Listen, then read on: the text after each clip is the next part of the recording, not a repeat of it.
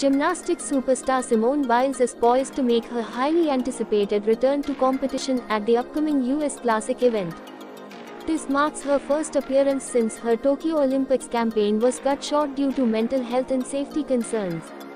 The event, scheduled for August 4 to 5 near Chicago, will see Biles back in action after a nearly two-year hiatus. USA Gymnastics announced the news, expressing their support for the four-time Olympic gold medalist.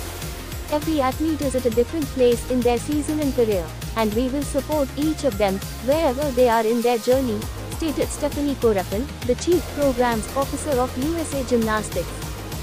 Biles will make her first appearance since the 2021 Olympics at the upcoming US Classic event near Chicago in August, as announced by USA Gymnastics. Biles' decision to step away from the Tokyo Olympics due to the twisties and prioritize her mental health sparked a global conversation on athlete well-being. Her return to the sport signifies her resilience and determination to overcome the challenges she faced.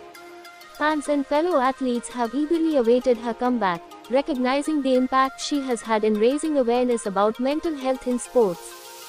Simone Biles, known for her extraordinary talent and dominance in gymnastics, electrified the 2016 Rio Olympics by capturing gold medals in the team, all-around, vault, and floor exercise, along with a balance beam bronze. Her return to competition promises to be a thrilling spectacle as she showcases her skills once again. The US Classic, a renowned event in USA gymnastics, serves as a prelude to the national championships, scheduled to take place in California later in August. Biles has utilized the US Classic as a springboard for her remarkable comebacks in the past, notably after her two-year break following the Rio Olympics.